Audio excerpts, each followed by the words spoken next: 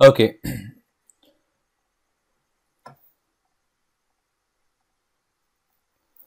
Uh, so guys, the topic for the day is virtualization. So we are just covering virtualization topic. There is no lab, it's just a theoretical topics. Okay. Uh, from your syllabus point of view, this is the portion which we are looking forward to. Okay. It's a complete and core topic. There is no ENARSI uh, the virtualization is not a part of ENARSI it's just a ENCOR. Okay, so we are going to uh, uh, discuss what are the different virtualization technologies, what are hypervisor type 1 and 2, what is a virtual machine, what is a virtual switching. Okay, and apart from this, I have also added few more topics uh, for your reference which you can go through. Okay.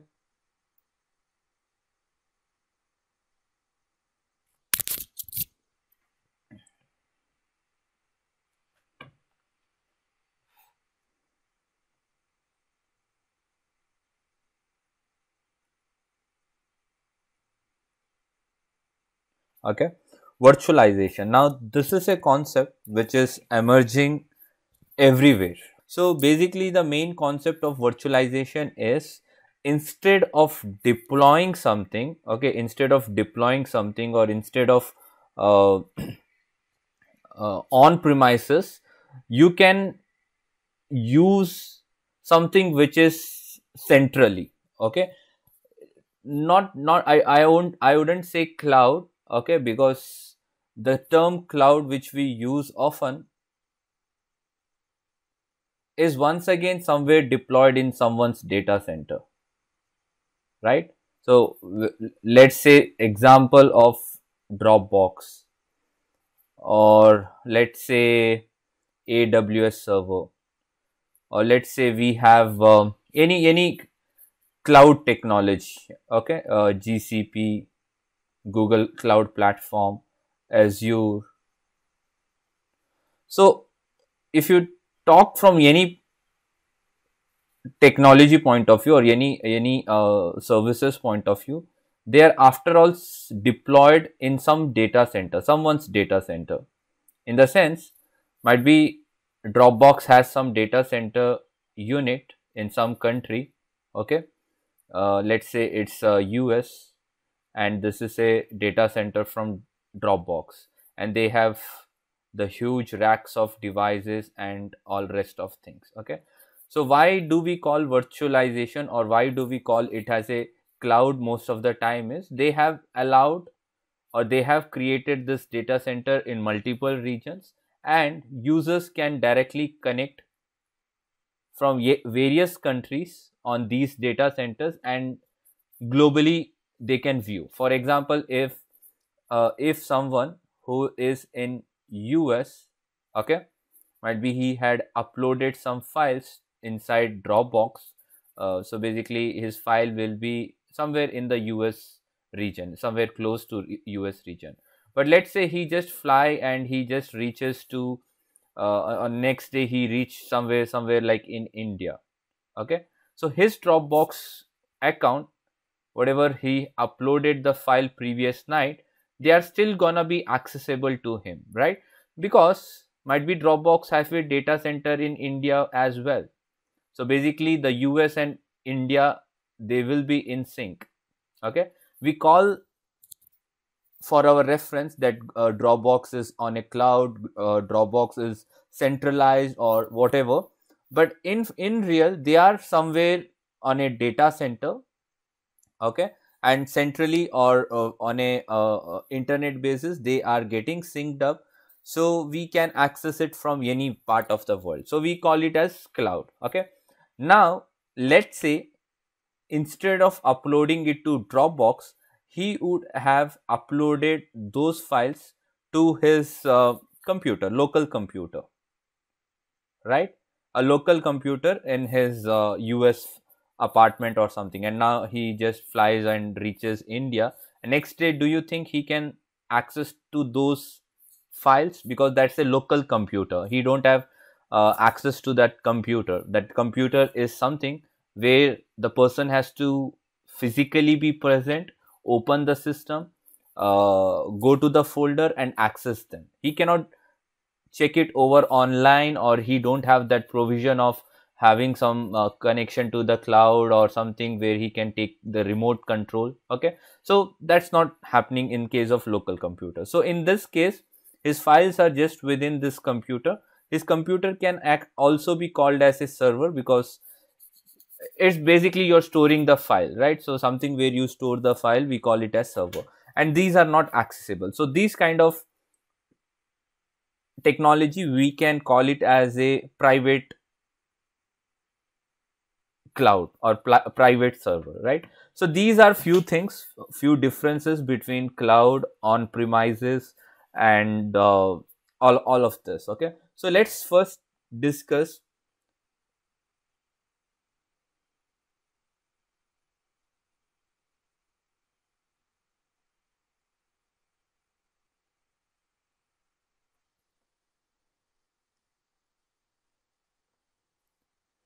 the cloud deployment models.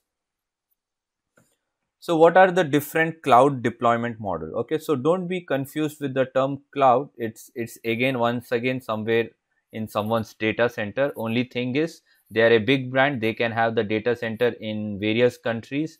Between their data centers, they are taking care of the traffic migration and all those things. As a user, as a customer, I only is bothered uh, about my files which uh, I uploaded in US and once I reach towards India, I need my files to be accessible. That's my concern. I, for my reference, I'm going to say the word as cloud because I'm a customer. I don't know what is a data center. I don't know what is Cisco router, don't know Cisco switch or something. I just know that my files are accessible on both the regions. So somewhere it's in a cloud or it's in central. But as a network engineer, we should be aware of that it's all on a piece of rack or server where these files will be loaded up. Only the back backend is between data center to another data center. The the normal as usual what we know about networking, uh, ISPs, the protocol, the switchings, uh, the securities, all those things applies. Okay, so there are couple of deployment models. The first model is public cloud. Public cloud as as you can see it's uh, some example like dropbox aws and so on okay you can also have a private cloud. Private cloud is something where the access is given just to limited people not to everyone. There's something called as community cloud. A group of similar users who are who wants the service. And hybrid cloud. Mix, mixture of two or three different cloud. You you have a uh, you have your service loaded on aws you have your authentication loaded on the azure server. You have your vpn service going on gcp a mixed model in your enterprise okay? So let's talk from first one. What are the different public cloud deployment model? So basically uh, as I told you, the the the bigger brands like Dropbox, Microsoft, uh, OneDrive, OneNote, okay. So all these kind of big brands, they have the data centers in various locations, okay, like US, uh, Australia, Singapore, India, Africa, okay and they have their own network medium to connect data center to data centers. They will have their rack rack services, routers, switches, servers, uh, storage units, firewalls, same every every on every data center. Okay, so users who are very close to US, they will use the first data center. The person who is very close to Australia, he will be accessing the public server, the, the public deployment model or whatever, let's say Dropbox for an example, he, he will be using the Australia. So basically it's a centralized way. If he is uploading some files uh, uh, from his house and when he just reached uh, his office, the files will be still in the server uh, on the cloud server and he can access it. So basically we call for our references cloud, but in the backend it's somewhere storing uh, storing in the Dropbox data centers. Okay. So public server is accessible to all the people. Anyone can use it. But yes, if Dropbox is setting some pricing, then you have to pay the pricing for their uh, services because you know how many data centers are involved here. What are the services Dropbox is offering you? What is the uh, maximum file storage you can keep in the Dropbox? So depending upon that, Dropbox has their own engineers so it also has to pay uh, their engineers the code the soft, software developers and a lot of things right? So basically they will also have some pricing list. So as a user i have to buy the uh, buy the service buy buy any package and i can use it. It's a public cloud okay? There's no restriction un unless or until i am good with their uh, package and the plan. Now let's move to private cloud. So here in case of private cloud we have some examples like openstack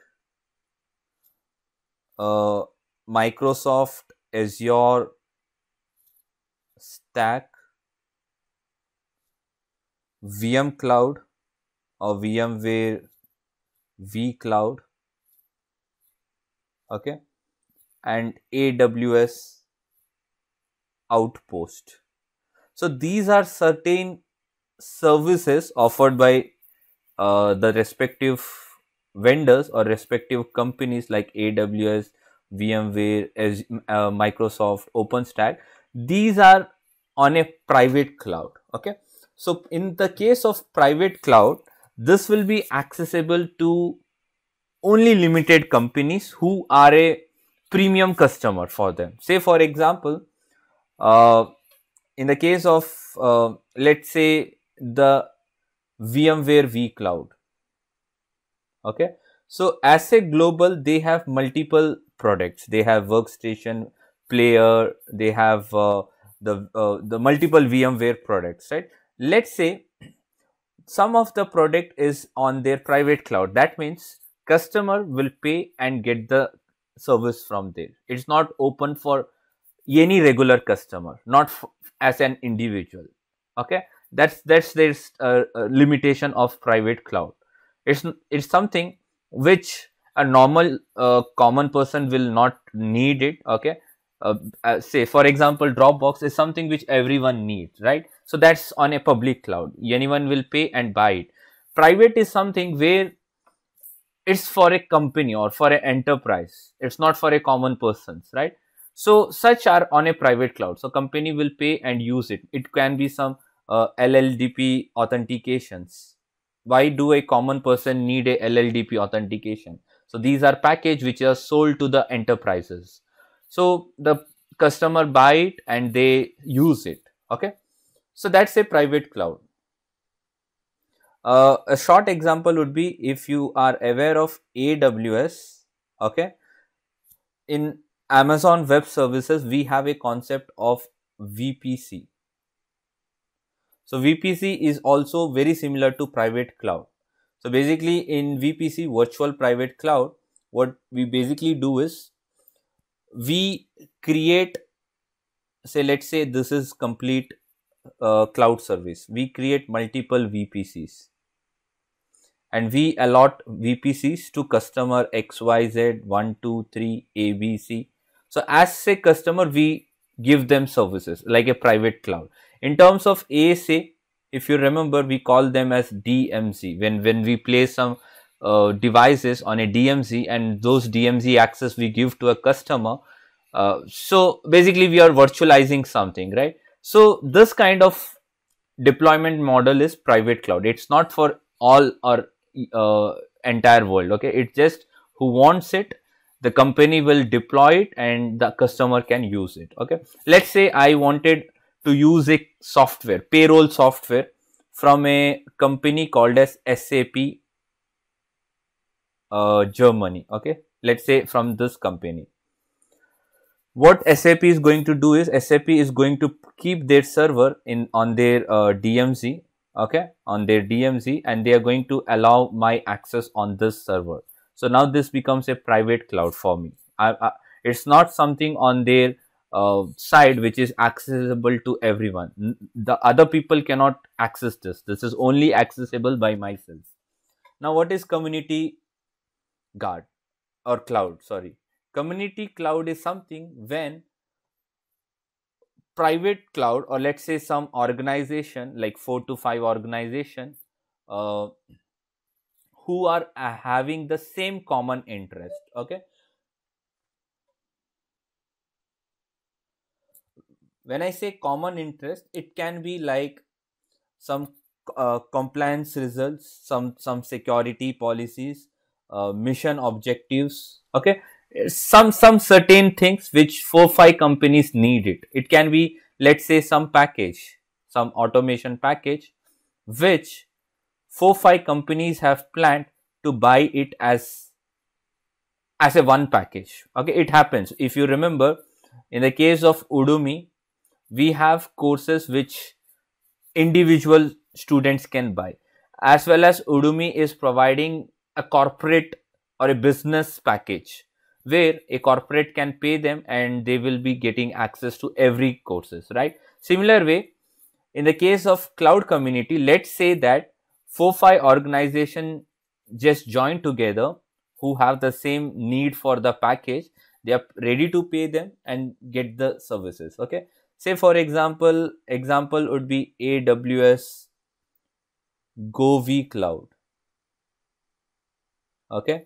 Similar way we have some Microsoft Cloud for governments. Okay, so these are some examples of community cloud. Now, what is hybrid cloud? Hybrid is scenario where let's say your mail exchange server is hosted on Microsoft server on on let's say Azure okay and uh, you have you have need for aws for the authentication. Okay. Let's say aws is giving some authentication package. So basically you're integrating your azure with your uh, aws authentication. Okay. So this this can be on your private cloud.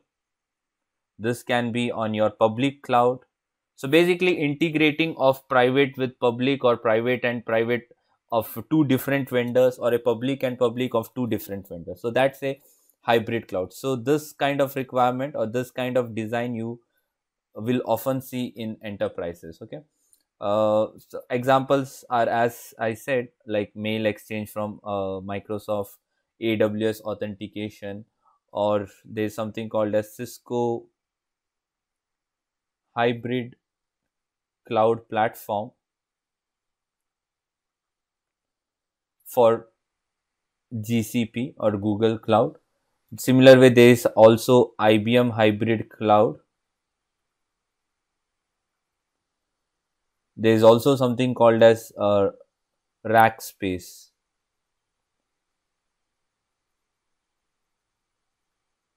Okay, so these are some examples and these are all the different deployment uh, over on cloud and you know cloud is a data center so it can be on premises off on premises or off premises. So depending upon that we had some deployment methods. Now regarding cloud virtualize uh, or regarding compute virtualization.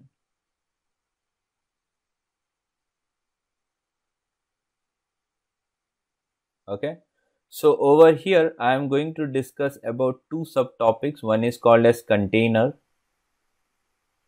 The other one is called as virtual machines. Okay? So first let's talk about virtual machine.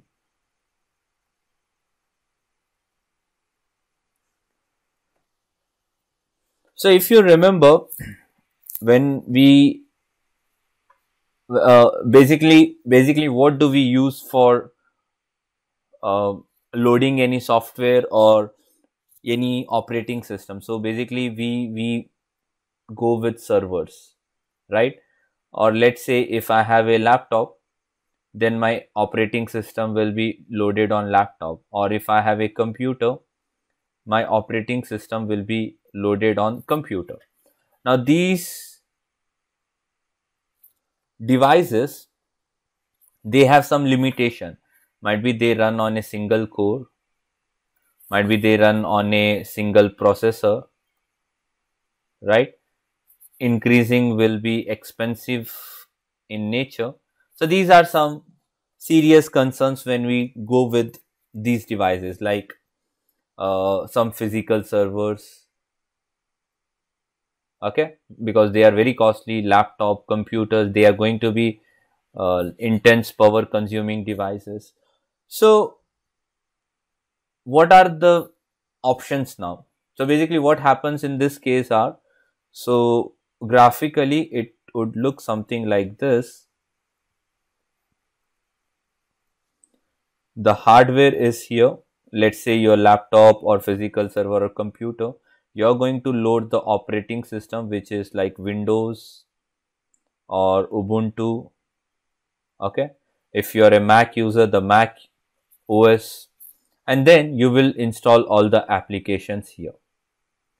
Application can be anything a media player your gns software uh, the word documents office microsoft office basically. So all the application that you load on os okay so the problem with this kind of setup is the hardware can be a single core, single processing, might be very expensive and power intense, right? So this is a problem with the physical, the, the on devices, on premise devices, okay? Now what we do is we try to do something virtual, okay? So in the case of virtual, basically what happens is the benefit let me tell you in the case of virtualization we can run multiple operating system which we are not able to do it here. We have backup and error recovery process. Okay?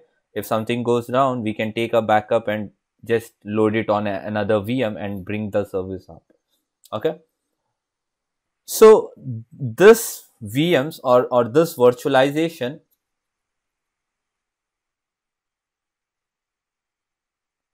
is divided into two different types, type 1 and type 2.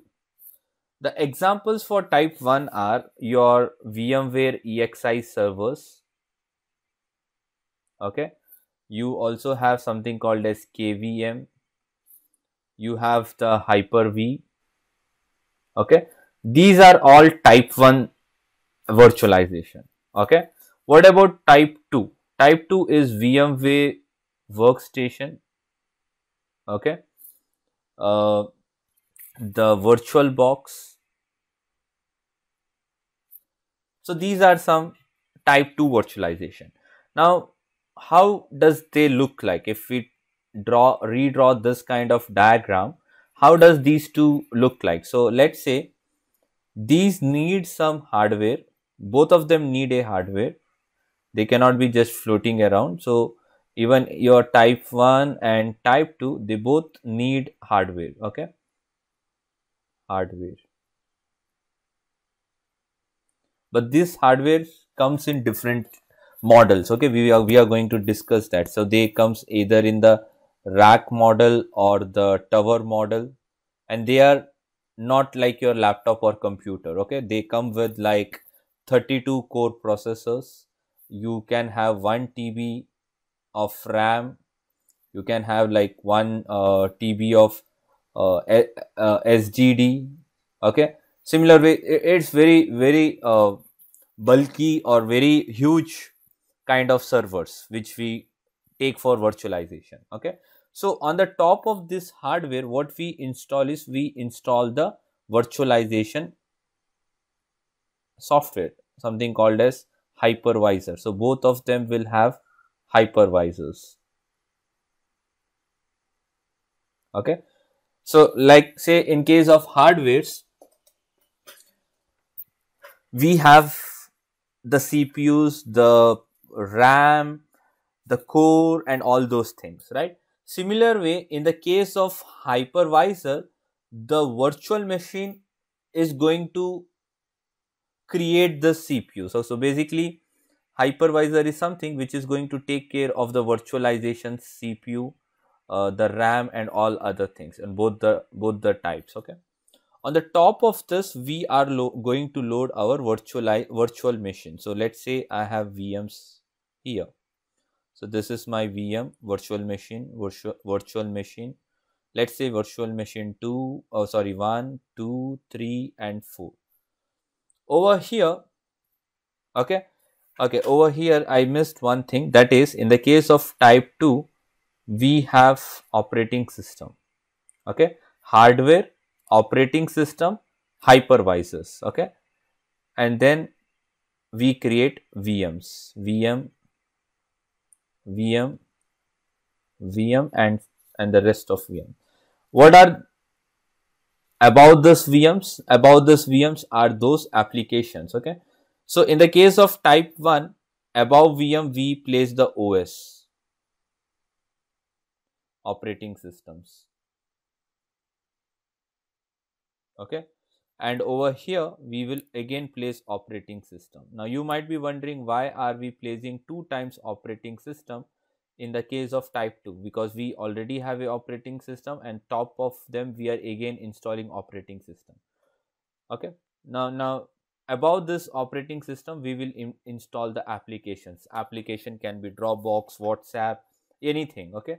Similar way we can also install application within this virtual machine we can install application here we can install app application. Similar way we can have application application uh, application and application okay? So there's one difference here if you notice that is you are going to install operating system and top of that you are going to have a hypervisor okay? What is the example that i gave you? It's a vmware workstation. If you just remember about your lab, the CCNP lab, which you do it on a VMware, where is this VMware installed? It's installed on the top of your operating system, right? So your win so, and where is your Windows being loaded up? It's on your laptop, on your computer, right? So you have your laptop or computer, which comes with some certain processor and RAM. On top of that, you have your operating system on top of operating system you are installing some hypervisor. Hypervisor is something like which provides virtualization. Like for example vmware workstation okay or virtual box. So this is a hypervisor for you. On top of hypervisor you are creating virtu multiple virtual machines okay? Uh, might be virtual machine for gns virtual machine for eve-ng virtual machine for something else right? On and on the top of each virtual machine you can deploy windows once again. You can deploy the ubuntu. You can deploy it for something some other uh, vendor uh, practice right? So basically this is how the type 2 looks like. In the case of type 1 you buy a server from the market. You deploy it on the rack and on the rack or on the uh, on the device once you boot it up you are going to install hypervisor. You are not going to install operating system okay? You're going to install hypervisor. Now these hypervisors examples like exi they basically is a package of hypervisor plus the linux in the background okay? So basically let's say in this way that this is a hypervisor which we install on the top of hardware but it itself is kind of a package which has both operating system and the EXI hypervisor process okay? And where do we create VMs or, or different VMs we create it directly on the EXI page okay? So in the EXI page I, I go to EXI page I say that I need to create one VM I'll give some memory, some hard disk, some uh, percentage of RAM. And then on above that VM I'm going to install some operating system. It can be a Linux or a Windows. And on top of that i install my application. Where the rest are similar okay? The only difference is about hypervisor where have you configured it? When you have a server it doesn't make sense you install some operating system like linux or uh, windows and then on top of that hypervisor uh, th there's a drastic change between the two okay in the case of this example the hypervisor is going to support just 64 GB of RAM because this kind of deployment is usually seen in the case of laptop and computer. You have your Windows running, you need some virtual virtualization where you can run some other operating system and see what are the benefit, what are the different features, right? Or you can run some GNS or something like that, right? So you need virtualization. So in, in this case, the hypervisor will be your VMware workstation, which is, uh, which is installed over operating system. But in the case of type 1, you just buy hardware and on the top of hardware, you're directly installing hypervisor. And the hypervisor itself is like a VMware uh, dashboard where you can create uh, multiple VM instances. You can allot some uh, memory, uh, the hard disk, and give it to the concerned people. And they will install whatever uh, operating system they need and whatever application they need. Okay? So this is your virtualization where you don't need multiple devices to install multiple vendors or operating system for testing basis you have one devices with the help of hypervisor which is used for allocating RAM and CPU and all those things, you can build your multiple VMs and on that you can uh, put your operating system and then you can make use of the applications.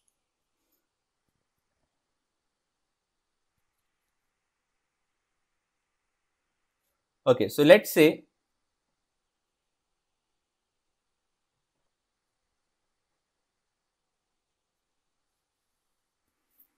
these VMs, okay, these VM have some disadvantage.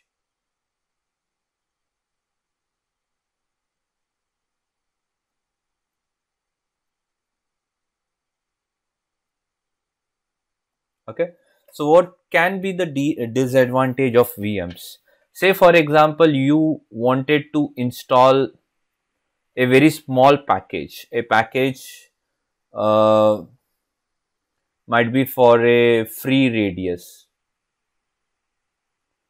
which is just a 5 MB file file size. Okay why do you think you need such thing uh, to be installed in VM you could have installed directly on, on the top of operating system right let's say the operating system was Windows but free radius runs on Linux now, do you think you are going to remove your operating system just sake of testing one software? No.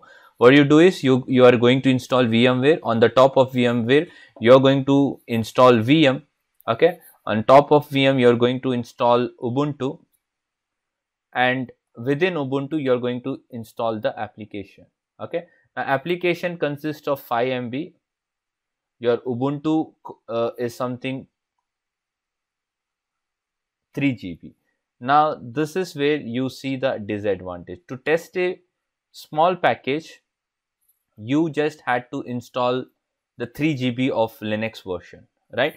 I know they, we get Linux uh, tiny versions and all those which takes like 100 MB, 200, 300 MB, okay? But let's let's say a Windows operating system which you do not get in tiny versions. Minimum they are like 3 4 gb to maximum 10 gb 12 gb 15 gb as well some some versions of windows server and all okay so just to try something you are going to install a very huge operating system so that's one disadvantage but let's say from the advantage point of view you want to test some operating system some application you don't have to even spoil your operating system by or corrupting your operating system by installing or testing something you just can uh, install vm and you can test it okay So that is regards to the vir uh, virtual, uh, virtual machines. Now I want to tell about containers.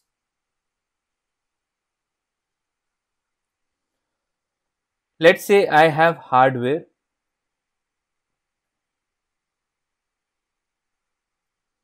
I have the operating system, uh, let's say Windows. Okay, so what this containers does is they need a container engine. And on top of container engine they have their multiple containers. Okay so let's say i created a container for application. I created another container for another application and so on. Okay? So this container is like a package. Might be this is my AAA service. Might be this is for my DHCP service. Might be this is for my network automation container. Right? You you are aware about the GNS where we have those appliances where there are a lot of containers, containers for uh, AAA, DHCP, network automation, for Moz Mozilla, right? So basically, how are they created? They, they are a lightweight virtual machines. We, we can also call it as lightweight VMs, okay? But they are not like a VM because in the case of VM, you deploy some operating system and you can have option of installing multiple applications right? When i say vm let's say i created a vm on the top of vm we install whatever operating system we need. It can be windows. And on the windows we can install multiple application like whatsapp dropbox uh, mozilla chrome gns everything. Whereas container is something which you can put a package which which which is a pa standalone packages okay? You put a uh, put a package within this and you can just use it. It's like a play and plug like a lightweight uh, thing okay? Which looks like vm but it is on over of vm itself. So this is how the container or the package will look like. So what are the advantage of containers they are small in size okay? To test a AAA server you don't need some uh, graphical or something right? So you can develop a package which can have both the features of radius testing and TACACS server testing. Might be they max they take maximum of only 5 MB so they are very small in size and you can run both the services inside this container they are very fast. Fast in the sense easy to deploy. Okay? So they they, they don't need a very huge virtual servers with lot of ram or cpu they are just a small package which you can install it anyway Porti portability.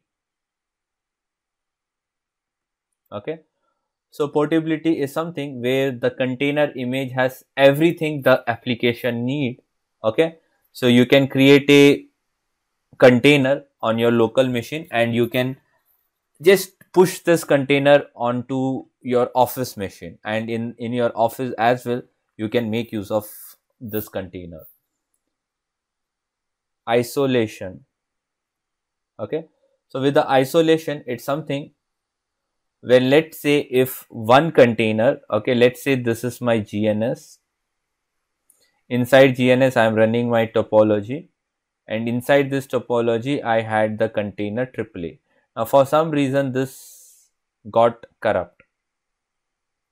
What do you do? You just delete and then you go here and you just drag and place it here. Now you have your new instance of AAA running, right? So they are isolated. So basically they uh, corrupt of one doesn't mean that they will corrupt the entire original container itself you have your container on your on your left side you can drag and place it okay? Isolations. Scalability. So what do you understand by scalability? It's basically when you have identical con uh, containers uh, you can scale them out okay? Let's say I had a container called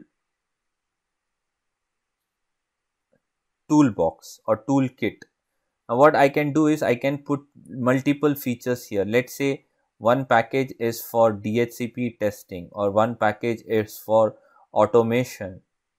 I have another package for SNMP, right? So scalability, the, the way we can develop the container.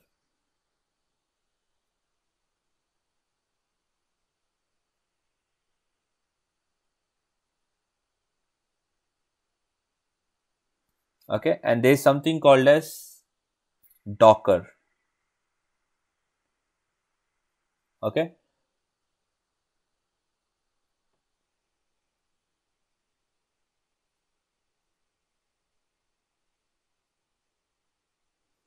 So what are these Docker? We, we usually use containers and Dockers most of the time, right? So Docker is something where this containers rely. Say for example, I have my hardware okay? On the top of hardware I have the operating system. On top of operating system I have the docker okay? And on these dockers are the containers uh, different containers. This container I have for AAA this container I have for DHCP this container I have for SNMP package service. This is for network automation. So we call them individually as uh, containers and those containers relies on the top of Docker. Okay. So there is a famous website which is called as Docker Hub, dockerhub.com. So if you go to this do dockerhub.com, you will see there are a lot of containers uh, which they uh, just provide to the services or they provide it to the uh, customers whoever need it. Okay so this is regards to the containers. Regarding cloud com computing. Okay so we all know we were all dependent on a bare metals. Okay? Bare metal servers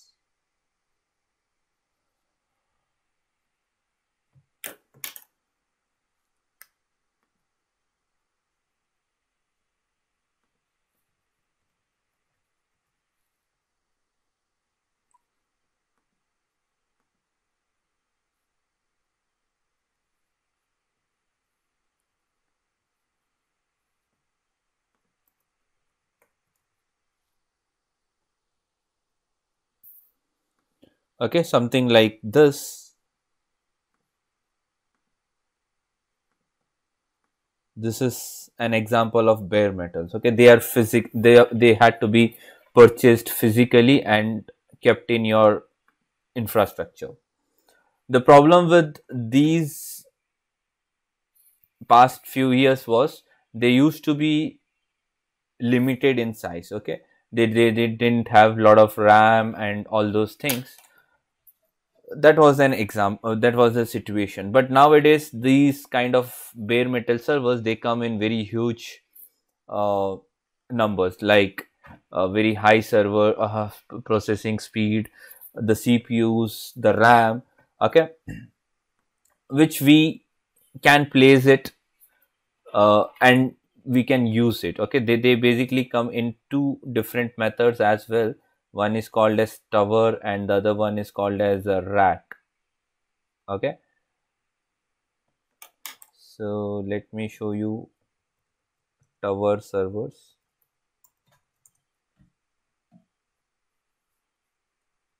These are tower servers which we can keep in the house where we, we can keep it somewhere where we have spaces but not in data centers because in data centers we paid to the building on, on the basis of the square feet, right?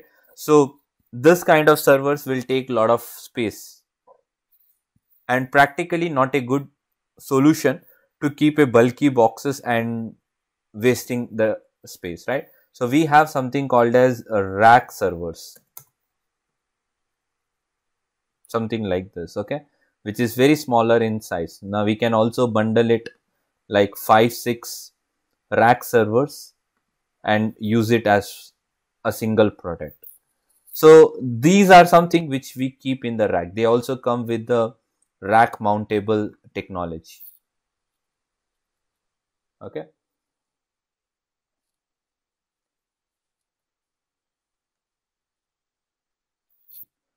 So similar way, we also have something called as server virtualization.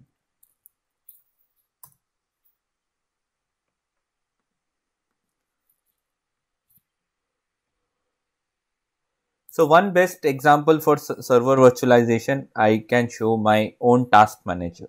Okay. So if you see my task manager, this is my uh, processing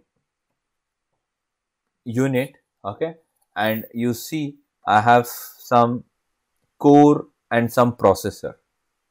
Okay. So basically using this core and processor, I can achieve the server virtualization. If if I, I, I have my laptop with running this core and processor, I can do some kind of virtualization. I can install uh, the hypervisor here. Say for example, this is my hypervisor. On the top of hypervisor, I can put multiple VMs. Okay, and I can test many things. So so let's say inside GNS, I was able to test lot of things inside a ubuntu server i can do a testing so basically these are all vms okay which is on top of my hypervisor hypervisor is used to allot the resource uh, uh, numbers okay so let's say on my vm i say that memory is this processor is this hard disk is this. So that's the job of hypervisor.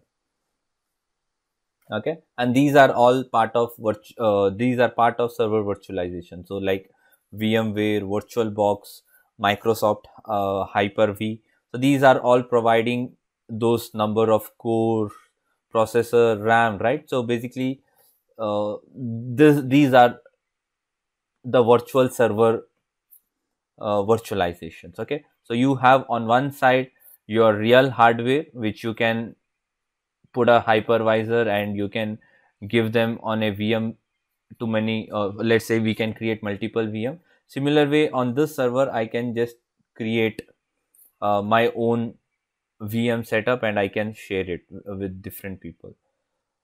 There's something called as cloud computing.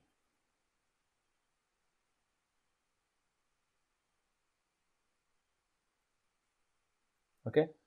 So what is cloud uh, computing? So let's say there is a company like Dropbox. So what does Dropbox does? They offer some services. Okay, they are offering some services. So basically, cloud computing is something where uh, they have to offer various services, and customer will be able to buy them. Okay, they'll pay, and the customer will buy it so there is no need of any human interventions, right? Because they are already set up, everything is being developed and now Dropbox is selling their package. You go to their website, uh, you just fill up your basic thing, your credit card, you pay them and you get the services, right? No, no human required at that moment. So basically it's all cloud compute, computing where, com where these uh, enterprises have built the package and they are ready to offer their services that they have multiple services you can buy anything from them. So what is the advantage of cloud computing is they are on demand. Okay? So on demand self services you can buy and you can just uh, use them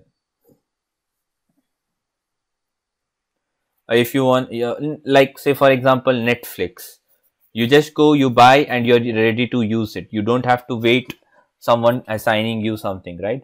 So they're all self services if you want to terminate the package you can just cancel it and th that's done. So on demand self services broad network access. Okay so what is broad network access? So basically it's available on multiple platforms. Say for example smartphone ipad mobile uh, on your tv okay?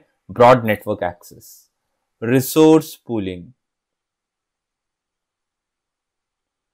So let's say you had a service on your uh, website and the traffic hit was more. So there is chances the whole website goes down right? So resource pooling is something where when you receive a lot of traffic multiple servers should be created automatically in the backend. So you have multiple servers they start processing these traffic instead of they dropping them okay? Resource pooling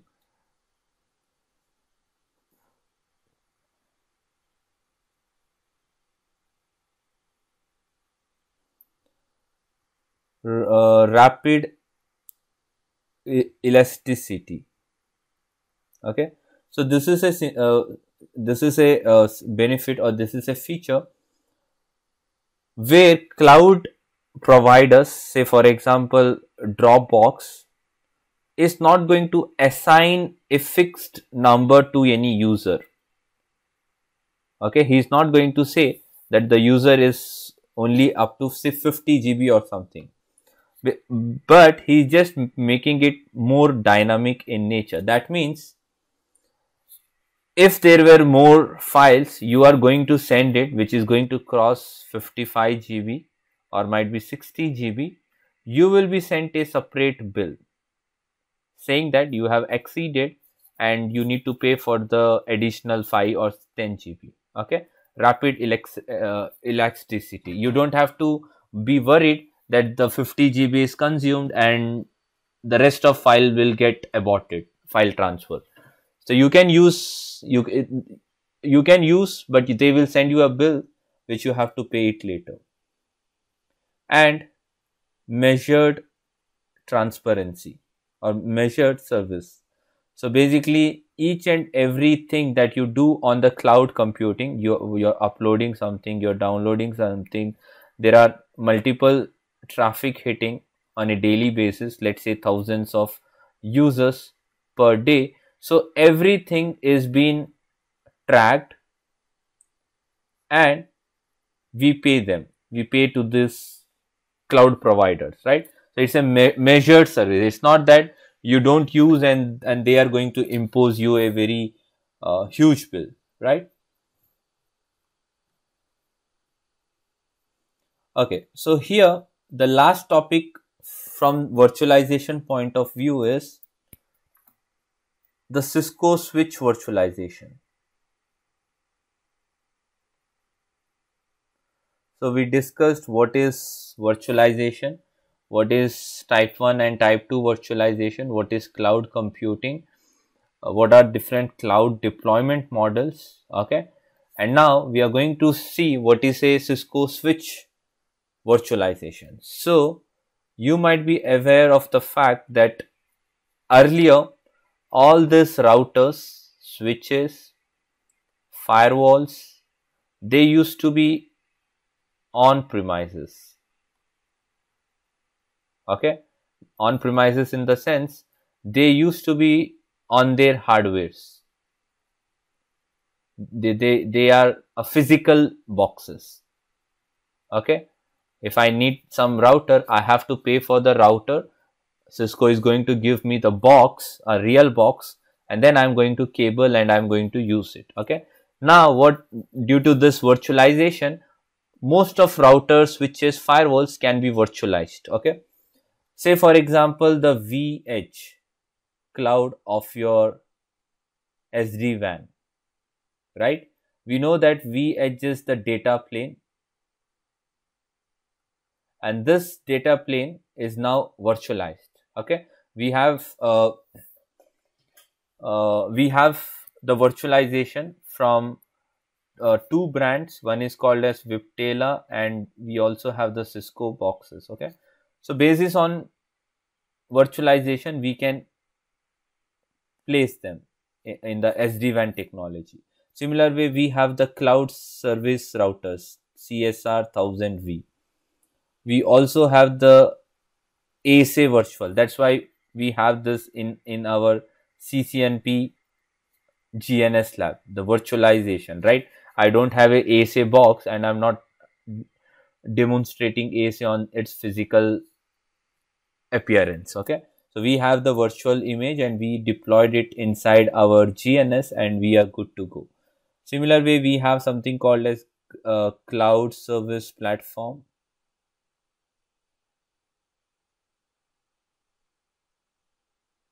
okay. We have xrv 9000 we have these firepowers which are on next generation firewall virtualization. We have virtual security appliance. We have email security appliance uh, advanced malware protection. So basically all virtual. Okay so hold together this topic of cisco virtualization. We call it as virtual network function. In short form VNF okay? So these are some VNF example from Cisco. Cisco VNFs okay? Virtual network function. So these are some examples for the same. Okay now if you remember we also discussed about virtualizing virtualizing two devices or four devices right? So in the case of the access distribution layers. I told you uh, the 3750 the 3850 they have a feature called as stackwise. Okay? Stackwise is a kind of virtualization. What does stackwise does so let's say i have a box of 3850 okay if i keep two box of 3850 and if i connect between them so basically this will be looped and due to the loop one interface will be always down right? So this is not a better approach in the case of enterprises. So what i would do is i would keep 3850 and top of this i would keep another 3850 okay? And the prerequisite here is i have a special cable which i connect from one of 3850 to another 3850 and the second link of it from the first switch to the second switch okay? So this way we connect two 3850 but logically they now look like a single piece of 3850 okay? So this is how we virtualize the two devices into one. How, how who who becomes master and who becomes slave? So basically when we have two devices one becomes uh, or one takes up the role of master the other one takes the role of member. Okay? So to decide master and slave they will have the priority set. Let's say the priority is 100 here and 110 here. So basically this is a winner. So it says that i am going to be the master and you become the uh, member of of the stackwise priority the default config.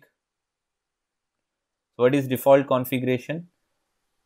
So basically you have to remember remember when you have the stackwise configuration the configuration is going to take over on the switches okay? So basically they will be like no configuration. So so make sure that the stackwise don't corrupt your configurations okay? There's something called as hardware and software priority okay? So in the case of hardware and software priority uh, the switch with highest priority okay will win the election and it will be taken as the master. Also there is other features. Let's say this version supports ip service and this supports ip base. So depending upon the features the extensive feature the device has to offer they they, they can select master and slave also there is one more criteria for this that is the MAC address. So the switch with the lowest MAC address can become master. Okay. So that is in the case of StackWise. The concept holds good for distribution versus core as well. And if I have 4550 devices or 6500 devices. In this case, I have two devices A, B. I need to have a link between them which is called as VSL virtual switch uh, link. Okay. So this link is important which act as a keep alive. Okay. So what happens is logically they becomes a single unit. Even though they they are two they become a single unit. Okay? So it's going to help you to achieve something like ether channel benefits. Okay? Uh, benefits from stp looping. Uh, the other features like non so uh, non non stop forwarding. Uh, the SSO used for high availability. Okay. Stateful switchover.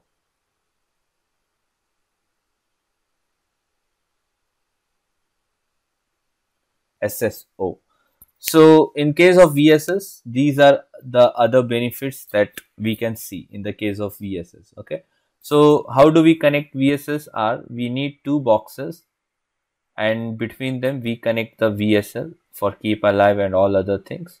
We are going to configure the configurations and that's pretty much enough. Okay. So from the configuration point of view, first we need to define domain. Okay. So we need to do, define the domain here and here. And then we have to define VSL virtual switch link and then finally the conver conversion command. Okay? So with this command i say that the normal mode will be converted to vss so that's all. So your switch gets converted to vss nature or the vss features and finally reboot is a good solution. Okay so that ends virtualization. We covered much more than what your theoretical topics is. So virtual switching is something like your StackWise VSS, uh, VNF. Okay. Virtual machine, we know what is virtual machine, where is it loaded up. On top of virtual machine, what we have, why do we make use of virtual machines? And we know what is type 1 and type 2 hypervisors okay? Fine. So that's pretty much end of today's class. Yeah blade servers are also one part of servers.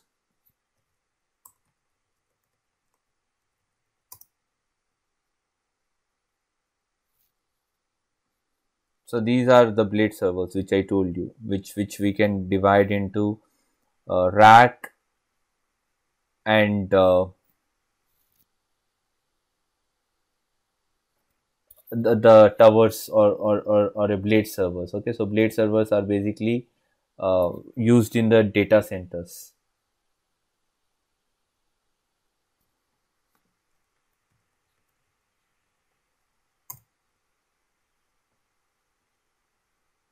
these are pretty older technology the bare metal servers okay? They, they used to be long way long way uh, back not, not, not we don't make use of them. Nowadays we have uh, the uh, the racks which has lot of hardware configurations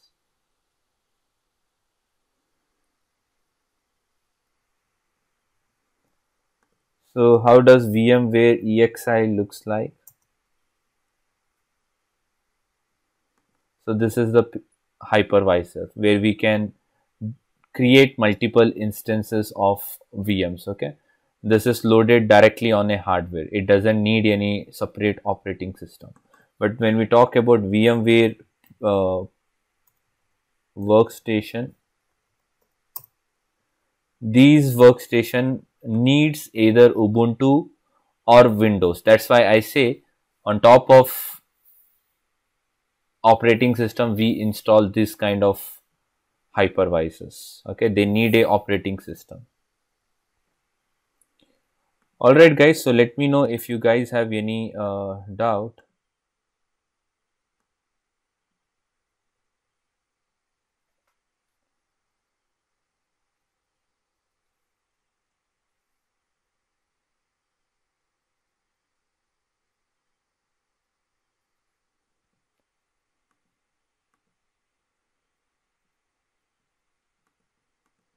okay i guess it's all good. And uh, so let's meet up in the next class with with the new topic.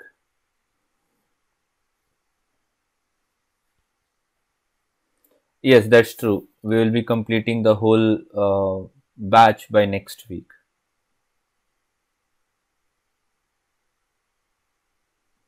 So we are we are we are almost in the end okay? So this is done. We did vrf in the last class.